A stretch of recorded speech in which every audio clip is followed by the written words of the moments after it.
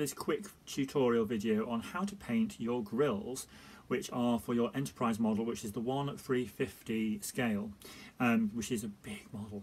So the grills which are part of your uh, nacelles um, which are the grills that are on the inner sides of your nacelle um, that is your grill painted with all the nice stripes all peering through. So I'm going to do my best to attempt to show you how to do this. It's pretty damn simple. You obviously have your grill, which is your piece of plastic with the grooves in. You will need some masking tape. Now in UK terms, this masking tape is um, one millimeter in width, length, whatever you, not length, uh, width. Um, so that is what I'm using, and that is from, um, I'm probably going to repeat this, but anyway, I'll go through it again. That is from Modelcraft. Um, I got these online because we're in lockdown right now. Um, you will also need two cans of spray paint.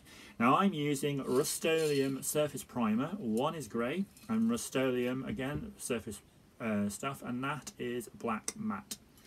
And that is all you need. So you need your masking tape, you need a knife with a thin edge to apply the masking tape in.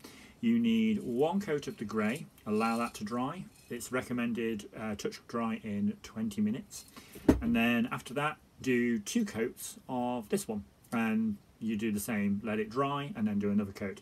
And do a very thin coat per one. So let me show you, hopefully, a better way. I'll demonstrate now how I did that.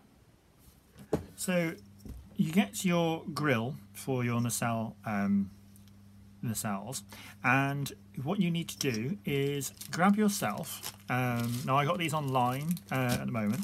So I've got some um, they are model from Modelcraft and you can get these in various sizing. This one is um, a two millimeter one um, but I've bought um, for the purpose of this um, some one millimeter if you can see there, one millimeter um, wide um, masking tape.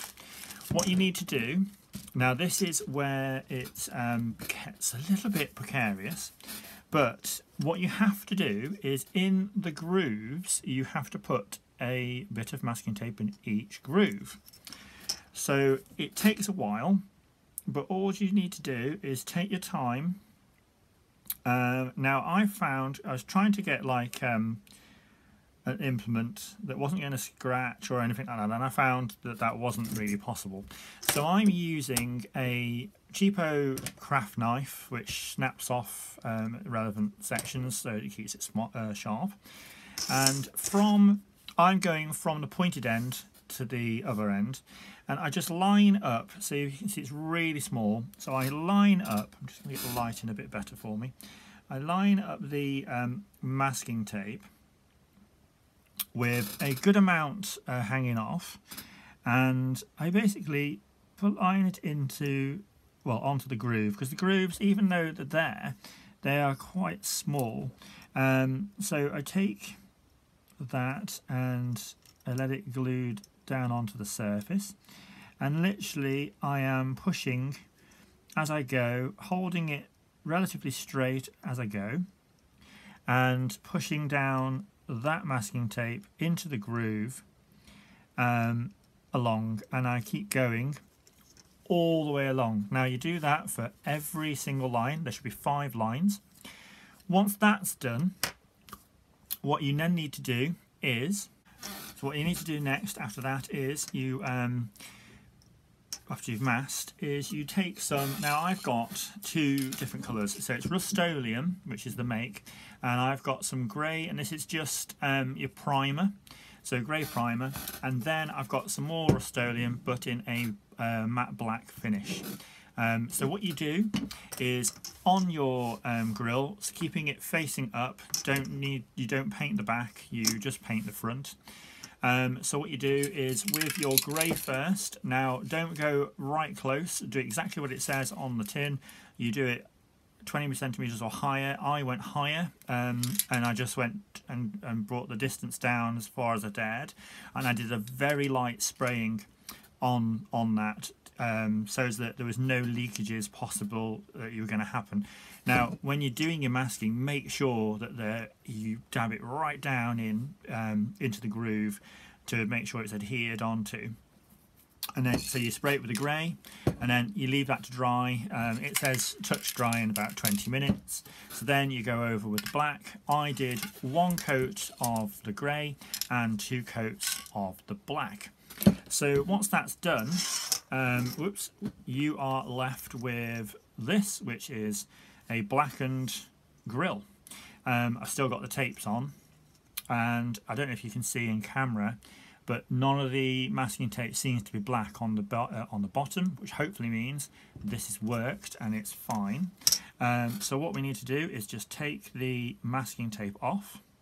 So all five strands I'm pulling um, off, like so.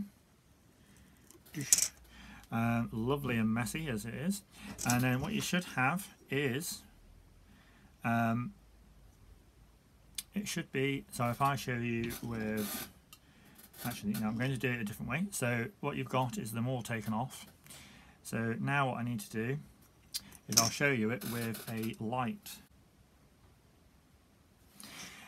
Now obviously in the um, in the actual model I'm going to be using a strip lighting but just for the purpose of demonstrating this I'm going to just use a blue LED for you. So you've got your painted thing and this is what it should look like. So it'll have a nice, oops, um,